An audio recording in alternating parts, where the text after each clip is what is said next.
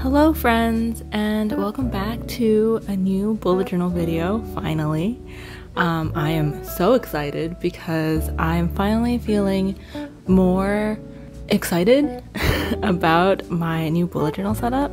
So I think in my last studio vlog I talked a little bit about how I haven't been feeling very motivated to use my bullet journal because I just haven't been very happy with it and I decided after an absurd amount of research and looking at different notebooks and things um, to switch notebooks. I'm back in an A5 notebook, which I have not been in in like two years, so this is very new for me. Um, and I'm setting up my new bullet journal for the rest of the year. So, I guess to first tell you about my notebook, I decided on the uh, JetPens Tomoe River paper notebook that they carry. It's one of the JetPens exclusive notebooks. When I was deciding on what notebook to get, I looked at the Archer and Olive, I looked at the Leuchtturm, I looked at probably every like popular bullet journal notebook there is out there, and um, I ended up deciding on this kind of non traditional choice because one, I really wanted bright white paper, which the Leuchtturm doesn't have.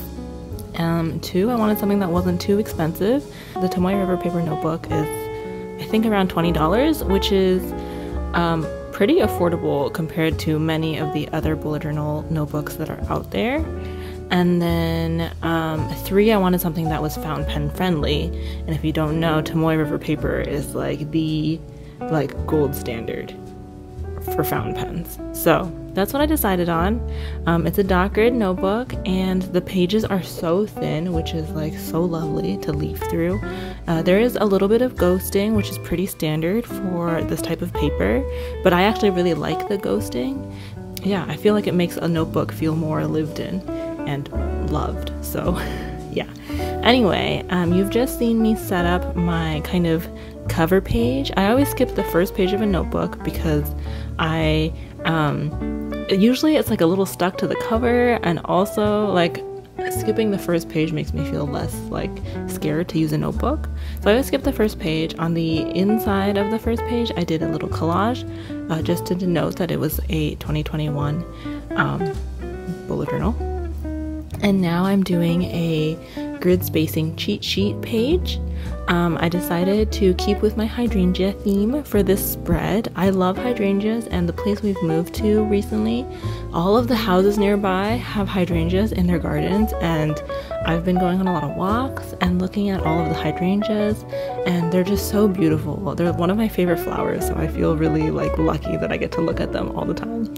I am trying to kind of practice and work on my line work a little. I don't really do a lot of line work in my regular art mostly, um, so I thought the bullet journal would be a good opportunity for me to try working on some more minimal black and white drawings and um, ones that really focus on line art. So yeah, here I'm drawing a hydrangea. Um, and this is like pretty much the only collection that I did.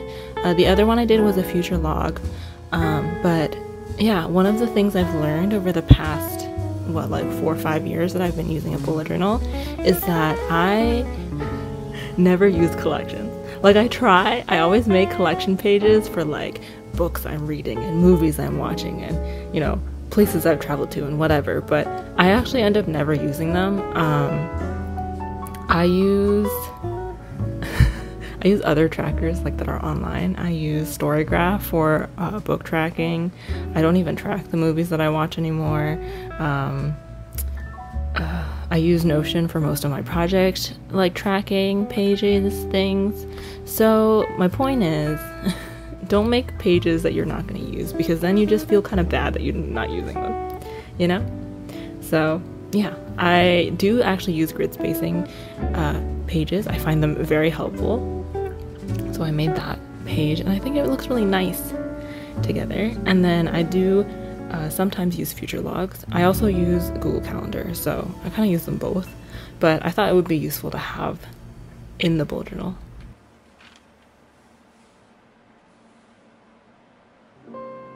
So I made a future log. This one is super simple. It's uh, three columns on each page. Each column is a month, and then I did um, a like mini calendar and then a list calendar for each month. Um, kind of like how I uh, used to do my monthly setups in my traveler's notebook.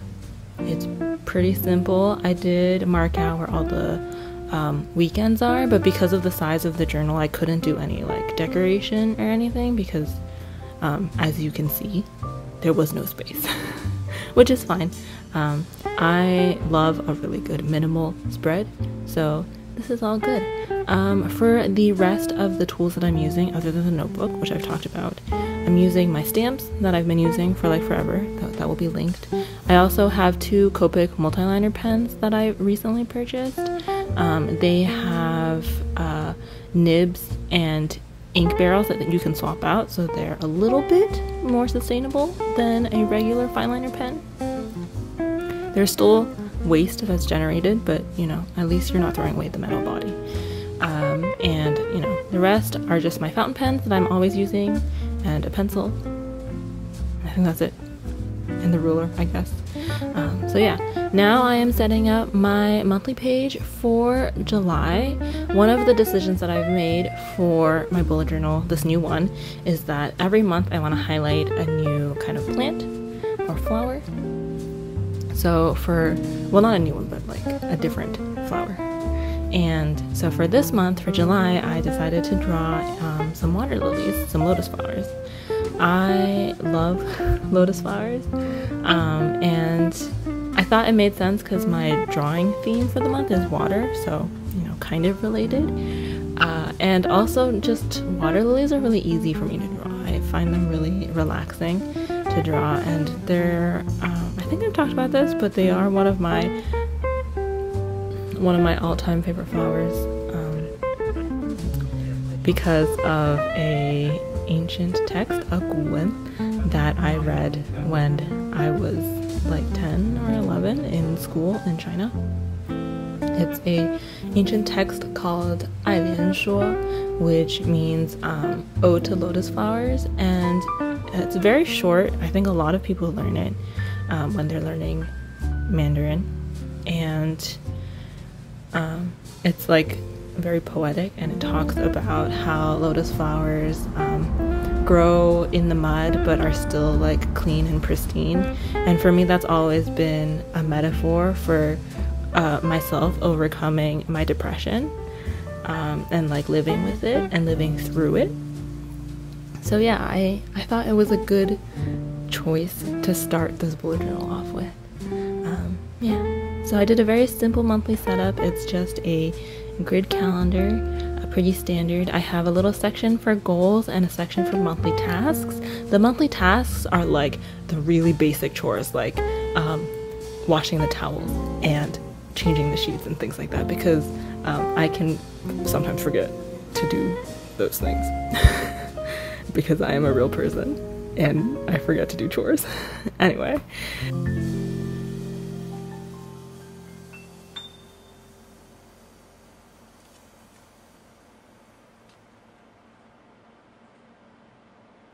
And then the last spread I did was a weekly spread. I am switching up my weekly spreads also, I've decided to try doing a vertical weekly spread instead of my old horizontal ones. Um, mostly because now that I'm in an A5 notebook, I have the space to do these types of weekly spreads. The Traveler's Notebook, you could do it, but it was like, it was too tight, it was too small.